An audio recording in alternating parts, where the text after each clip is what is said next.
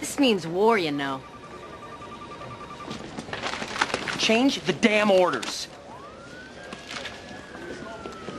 Nice work, Marsh. She's been driving us crazy all day.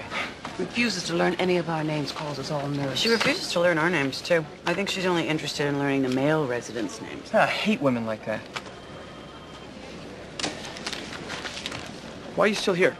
Um, because my fridge at home is empty and I was hungry, Didn't I see you eating one of those 20 minutes ago? uh-huh. This is my third. Third. What are you, pregnant?